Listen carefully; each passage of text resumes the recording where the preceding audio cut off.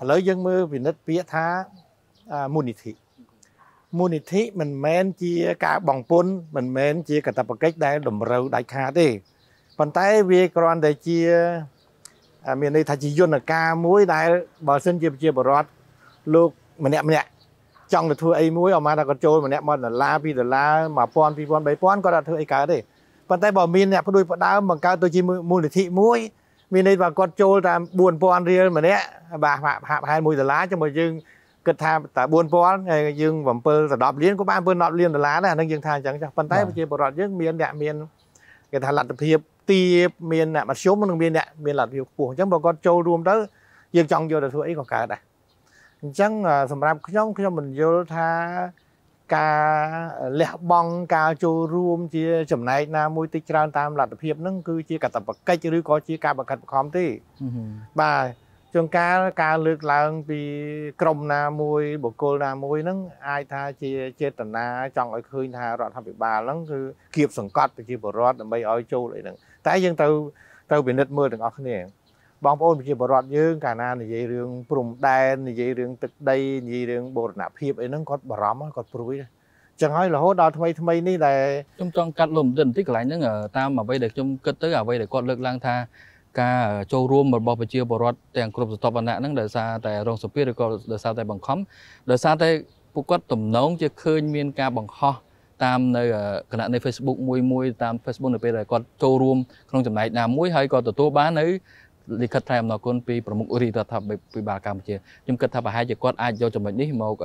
វិតម្លៃថាជាការតម្រូវជាការរងសម្ពាធឬក៏ជាការបង្ខំតើរូបភាពបែបនេះវាអាចនៅក្នុងទម្រង់នឹងដែរឬទេតាមពិតទោះបីជាមូលនិធិនេះបង្កើតដោយរដ្ឋាភិបាលឬក៏បង្កើតដោយ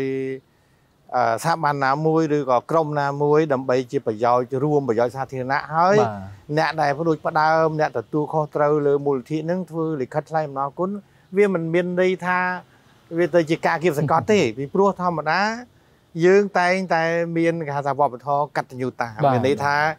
គេឲ្យជាឯកជនក៏ដោយគេចូលរួមនៅក្នុងមូលនិធិក៏ដោយចូលរួមក្នុងគម្រោងអភិវឌ្ឍណាមួយក៏ដោយជា ជា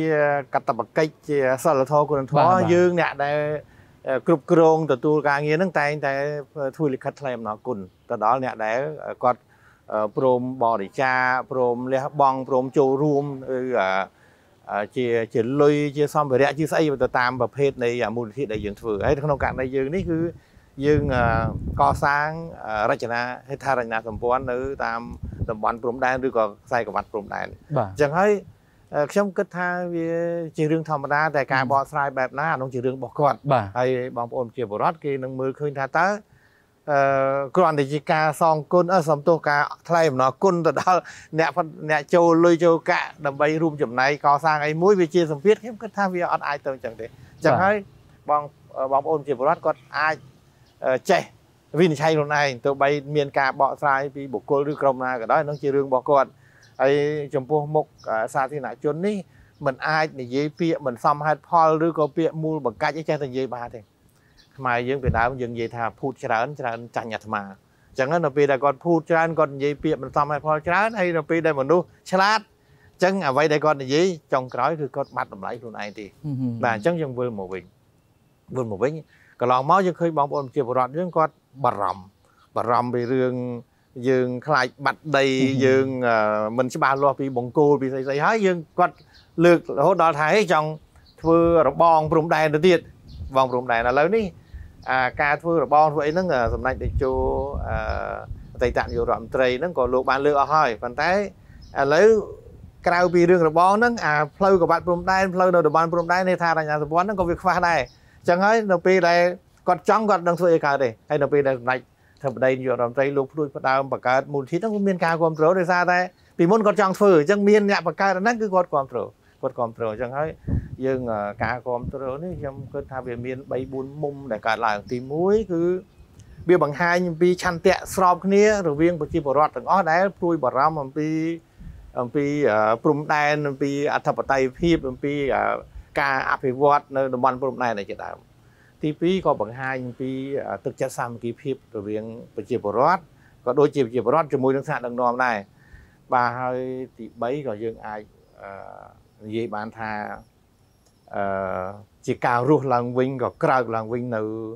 នៅស្មារតីជាតិនៅព្រលឹងជាតិនៅការជឿទុកចិត្តរវាងប្រជាពលរដ្ឋជាមួយនឹងថ្នាក់ដឹកនាំពីព្រោះថាបើសិនជាគាត់អត់ទុកចិត្តគាត់អត់ជឿទោះបីបង្កើតមូលនិធិនឹងធ្វើអីក៏ដោយក៏គាត់អត់ចូលរួមដែរ អញ្ចឹងនៅពេលដែលមានការចូលរួមធ្វើបាត់តែមានអឺអ្នកនយោបាយខ្លះឬក៏អ្នកធ្វើអធិប្បាយខ្លះគាត់យល់បែបណានោះជារឿងរបស់គាត់វាមិនវាជាមិនផុតទេប៉ុន្តែនៅពេលដែលយើងឃើញមានការចូលរួមភ្លុកទឹកភ្លុកដីគ្រាន់តែរយៈពេលប្រហែលលោកសគុណធានលើកមិញខ្ញុំមិនចាំតួលេខទេគឺថាមានច្រើនណាស់ហើយហើយយើងសង្ឃឹមថានឹងមានបងប្អូនប្រជាពលរដ្ឋយើងចូលរួមទៀតតែរឿងដែលសំខាន់បាទនៅពេលដែលបងប្អូនប្រជាពលរដ្ឋយើងចូលរួមកាន់តែច្រើនយើងយើងអាចនឹងទទួលបានលុយកាន់តែច្រើនសម្រាប់មូលនិធិហ្នឹង ហើយរឿងនេះដូចខ្ញុំបញ្ជាក់អញ្ចឹងថាកន្លងមកមានការលើកឡើងថាវាវាធ្លាក់ចុះនៅជំនឿទុកចិត្តអីរវាងប្រជាពលរដ្ឋជាមួយអាជ្ញាធរប៉ុន្តែនៅពេលដែលអាជ្ញាធរនៅពេលដែលប្រមុខរដ្ឋាភិបាលលោកលើកនៅគម្រោងមូលនិធិនេះមានការគ្រប់គ្រងអញ្ចឹងមានន័យថាការលើកហ្នឹងវាវាអាចត្រូវខ្លះប៉ុន្តែវាមិនត្រូវទាំងអស់ទេពីព្រោះថាបើសិនជា ប្រជាពលរដ្ឋមិនមានជំនឿទុកចិត្តទៅលើរដ្ឋាភិបាលប្រហែលជាបង្កើតមូលនិធិប្រមាណក៏គេមិនចូលយកទៅធ្វើអីគេមិនចូលដែរបាទអញ្ចឹងហើយទន្ទឹមនឹងយើងសប្បាយរីករាយនឹងការគ្រប់គ្រងមូលនិធិព្រំដែននេះជាមតិយោបល់ផ្ទាល់ខ្លួនរបស់ខ្ញុំទេថាទី1យើងត្រូវតែប្រមូលលុយកាក់ទាំងអស់ហ្នឹងដោយគ្រប់គ្រងឲ្យបានឲ្យមានតម្លាភាពហើយប្រើប្រាស់ឲ្យចំគោលដៅដើម្បីឲ្យប្រជាពលរដ្ឋវានេះវាជាវាជារឿងមួយដែលយើងត្រូវធ្វើជាគំរូបាទបាទអញ្ចឹងបើសិនជាប្រមូលបានហើយ ធ្វើឲ្យត្រូវគោលដៅគោលបំណងនៃមូលនិធិហ្នឹងប្រជាពលរដ្ឋគ្រប់គ្រងអាចថ្ងៃក្រោយធ្វើគម្រោងអីក៏មានការគ្រប់